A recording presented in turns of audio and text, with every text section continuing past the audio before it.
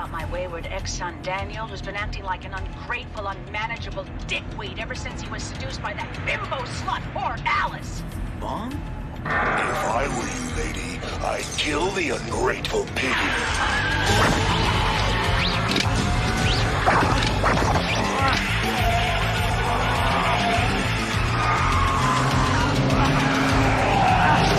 Put your pedal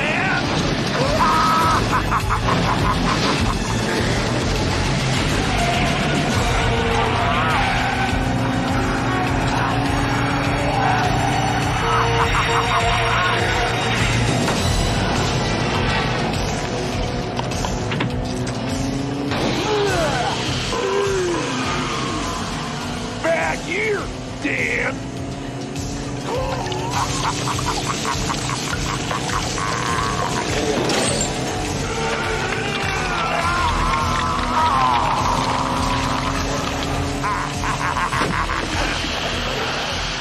Better buckle up, dear!